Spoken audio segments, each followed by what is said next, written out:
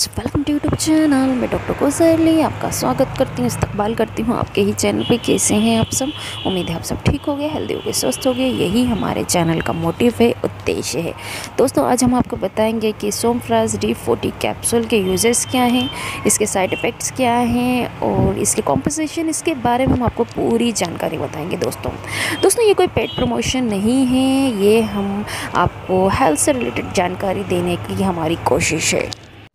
क्योंकि दोस्तों हमारे चैनल का मोटिव है आपको हर तरीके की हेल्थ से जुड़ी, चिकित्सा जगत से जुड़ी हुई जानकारी सबसे पहले आपके पास पहुँचे। तो दोस्तों, सबसे पहले वीडियो शुरू करने से पहले अगर आपने अभी तक चैनल को सब्सक्राइब नहीं किया हो तो प्लीज़ चैनल को सब्सक्राइब करें, लाइक करें, शेयर करें, कमेंट करें, क्योंकि हेल्दी और स्वस्थ होने वाली जानकारी सबसे पहले आपके पास पहुँचे। और दोस्तों, अगर आप चैनल पर नए हैं, आप देख रहे होंगे नीचे रेड कलर का सब्सक्राइब बटन है, बेल नोटिफिकेशन है लाइक बटन है, उसको दबाएँ, हमेशा हेल्दी रहें। तो चलिए दोस्तों, शुरू करते हैं। दोस्तों, सोमफ्राज डी फोर्टी कैप्सूल का यूज़ पेट के अल्सर, पेट के एसिड पाचन विकार, या गैस्ट्रो एसोफिगल रिफ्लेक्स रोग। जीआरडी जो एक ऐसी स्थिति है जिसमें एसिड पेट के पीछे की ओर बहता है और अन्य प्रणाली में चोट के कारण बनता है, के लक्षणों के इलाज और रोकथाम के लिए किया जाता है दोस्तों। ये उल्टी और उल्टी की इच्छा को रोकने में भी मदद करता है दोस्तों। Somfraz D forty capsule Sun pharmaceutical industry limited द्वारा निर्मित है। दोस्तों, अब हम आपको बताएँगे सोमफ्रेस डी फोर्टी कैप्सूल के कॉम्पोजिशन क्या है, इसकी सामग्री क्या है। दोस्तों सोमफ्राज डी फोर्टी कैप्सूल विभिन्न दवाओं का मिश्रण से बनता है। सोमफ्राज डी फोर्टी कैप्सूल के दो प्रमुख घटक हैं। पहला है डोमपेरिडोन, इसका यूज़ पेट के सकुचन की गति को बढ़ाने और उल्टी और मतली के इलाज के लिए किया जाता है। ईसोमेप्रोजोल इसका यूज़ पेट में होने वाले एसिड को कम करने के लिए किया जाता है। ये पेट के अल्सर रोग गैस्ट्रोएसोफेगल रिफ्लेक्स रोग आदि के इलाज भी करता है। दोस्तों हम आपको बताएँगे सोमफ्राज टी फोर्टी कैप्सूल के यूजेस क्या हैं, इसके उपयोग क्या हैं। दोस्तों सोमफ्राज टी फोर्टी कैप्सूल आमतौर पर विभिन्न गैस्ट्रिक मुद्दों जैसे जीआईडी और अमेलिय समस्याओं के इलाज के लिए यूज़ की जाती है। और विभिन्न जीआई ट्रैक विकारों और बीमारियों को रोकने और ठीक करने के लिए यूज़ की जाती है। सोमफ्राज डी फोर्टी कैप्सूल के कुछ प्रमुख और मामूली यूजेस गैस्ट्रिक अमलता या गैस्ट्रो आद, भाटा आतों का अल्सर, उल्टी और मतली की रोकथाम पेट में गैस सूजन पेट खराब, पेप्टिक छाला पेट में नासूर, पेट के कैंसर से बचाव ग्रेसनीली शोध अमली भाटा, गैर स्टॉइड विरोधी भड़काऊ रोग आदि के इलाज में इसका यूज़ किया जाता है, दोस्तों। दोस्तों, अब हम आपको बताएँगे सोमफ्रेस्टी कैप्सूल सीनियर के लाभ बेनिफिट दोस्तों गैस्ट्रोएसोफेगल रिफ्लेक्स डिसीज़ जीआईआरडी का एक क्रोनिक समस्या है, जिसमें पेट में अधिक एसिड बनता है। Somfraz D forty capsule senior आपके पेट में बनने वाले एसिड की मात्रा को कम करता है और छाती में जलन और एसिड रिफ्लेक्स से संबंधित दस्त से राहत देता है। इसके प्रभावी होने के लिए आपको इसे ठीक वैसे ही लेना चाहिए, जैसे आपको बताया गया हो। दोस्तों लाइफस्टाइल में कुछ आसान बदलाव जीआईआरडी के सिम्टम्स को कम करने में मदद कर सकते हैं। उन खाने या भोजनों के बारे में सोचिए जिनसे हार्ट बर्न होता है और उनसे बचने की कोशिश करें। थोड़ी थोड़ी देर में कम मात्रा में भोजन खाएँ। अगर आप ओवरवेट हैं तो वज़न घटाने की कोशिश करें। दोस्तों, हम आपको बताएँगे सोमफ्रेस डी फोर्टी कैप्सूल खुराक कैसे यूज़ करें। दोस्तों सोमफ्रेस डी फोर्टी कैप्सूल का यूज़ सेवन खाली पेट खाने से करीब 30 मिनट पहले करना चाहिए। सोमफ्रेस डी फोर्टी कैप्सूल को कुचला या चबाया नहीं जाना चाहिए। इसे सीधे पानी के साथ निकल जाना चाहिए। दवा की खुराक और अवधि रोगी की उम्र, शरीर के वज़न और चिकित्सा इतिहास पर निर्भर करता है।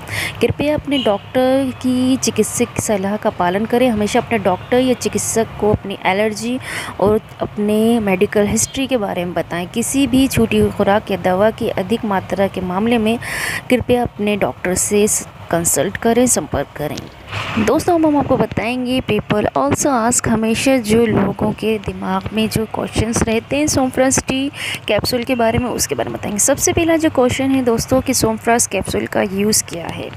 दोस्तों सोमफ्रास आईटी कैप्सूल एस एक संयोजन दवा है, जिसका यूज़ गैस्ट्रो असोफेगल रिफ्लेक्स रोग यानी एसिड रिफ्लेक्स और पेप्टिक अल्सर रोग के इलाज के लिए किया जाता है, जो अमलता के लक्षण जैसे नाराज़गी, पेट दर्द या जलन से राहत देता है।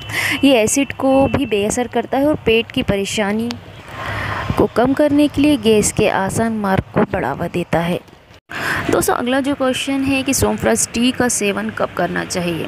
दोस्तों, आपको Somfraz T, forty capsule, S R लेने की सलाह, एसिडिटी और सीने की जलन के इलाज के लिए दी गई है। इसे भोजन से एक घंटे पहले अधिकतम सुबह में लें। दोस्तों, ये एक अच्छी तरह से सहन करने वाली दवा और लंबे समय तक राहत देती है। अगर आपको पानी जैसे दस्त बुखार या पेट दर्द होता है जो ठीक नहीं होता तो अपने डॉक्टर को सूचित करें। दोस्तों, अगला जो सवाल है कि सोमफ्राज डी फोर्टी कब लेना है? इस दवा को लेने का सबसे अच्छा समय खाली पेट या पहले भोजन से पहले इसका सेवन करना है? लेकिन उन रोगियों के लिए पर्याप्त नहीं है जिन्हें Somfraz D forty capsule S R forty capsule या सीनियर या एक ही समूह की अन्य दवाओं से एलर्जी है। दोस्तों, अगला जो क्वेश्चन है सोमफ्रास फोर्टी गोली का काम क्या है, कार्य क्या है? दोस्तों सोमफ्रास फोर्टी टैबलेट एक दवा है जो आपके पेट में बनने वाले एसिड की मात्रा को कम करती है। इसका यूज़ एसिड भाटा एपेप्टिक अल्सर रोग आपके भोजन नली में अन्य समस्याओं के इलाज के लिए किया जाता है। इसका उपयोग पेट में अल्सर को रोकने और इलाज के लिए भी किया जाता है। दोस्तों, अगला जो क्वेश्चन है, यदि आप सोमफ्रास 40 एम टेबलेट को तीन महीने से अधिक समय तक लेते हैं तो गंभीर दुष्प्रभावों की संभावना बढ़ जाती है। इसके अलावा, इस दवा के लंबे समय तक सेवन आमतौर पर तीन साल से अधिक करने से आपके शरीर में विटामिन बी ट्वेल्व को अवशोषित करने की क्षमता भी कम हो सकती है। दोस्तों, अगला सवाल है कि एसिडिटी के लिए कौन सा कैप्सूल लेना चाहिए? दोस्तों दोस्तों एसिड ट्वेंटी कैप्सूल का इस्तेमाल पेट के अल्सर और एसिडिटी को रोकने के लिए किया जाता है, जो लंबे समय तक दर्द निवारण दवाओं के उपयोग का कारण होती है। ये प्रोटीन पम्प इनहेबिटर यानी पीपीआई के नाम से जाने जाने वाली दवाओं की श्रेणी से संबंधित है। इस दवा को हो सके तो सुबह खाने के एक घंटे पहले लिया जाना चाहिए। दोस्तों, अब हम आपको बताएँगे सोमफ्राज टी फोर्टी कैप्सूल के नुकसान क्या हैं, इसके साइड इफ़ेक्ट क्या हैं। दोस्तों, सोमफ्राज टी फोर्टी कैप्सूल अलग अलग मरीज़ों पर अलग अलग तरह से काम करती है। सोमफ्राज टी फोर्टी कैप्सूल विभिन्न दवाओं का संयोजन से बने होते हैं। सोमफ्राज टी फोर्टी कैप्सूल लेने के बाद होने वाले कुछ साइड इफ़ेक्ट हम आपको बता रहे हैं दोस्तों, जैसे त्वचा पर चकते, मतली सिर दर्द, पेट फूलना, उल्टी सूजन, रक्तचाप में, यानी ब्लड प्रेशर में वृद्धि, दस्त, बुखार, पेट में दर्द, दिल की अनियमित धड़कन, कब्ज़। भूख में कमी, सांस लेने में कष्ट, आदि, ये सब साइड इफ़ेक्ट इसके प्रमुख होते हैं दोस्तों।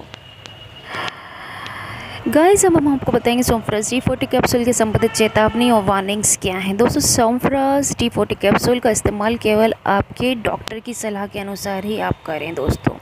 दवा के लेवल को ध्यान से देखें। हमेशा आपको अपने डॉक्टर, चिकित्सक को अपने चिकित्सा इतिहास यानी मेडिकल हिस्ट्री या एलर्जी के बारे में ज़रूर बताएँ दोस्तों।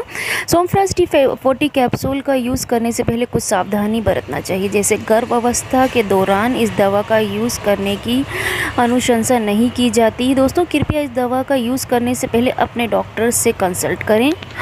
दोस्तों ब्रेस्ट फीडिंग के दौरान इस दवा का यूज़ करने की सलाह नहीं दी जाती है। कृपया इस दवा का यूज़ करने से पहले अपने डॉक्टर से सलाह लें। गाड़ी चलाते समय इस दवा का सेवन ना करें, क्योंकि ये दवा आपको चक्कर और अनिंदपन के कारण बन सकती है। शराब के साथ इस दवा का इंट्रेक्शन सुरक्षित नहीं है। इसका सेवन शराब के साथ ना करें दोस्तों। किडनी या दोस्तों, किडनी या लीवर की बीमारी के रोगियों की इस दवा को लिखने की सलाह नहीं दी जाती। कृपया अपने डॉक्टर से सलाह लें।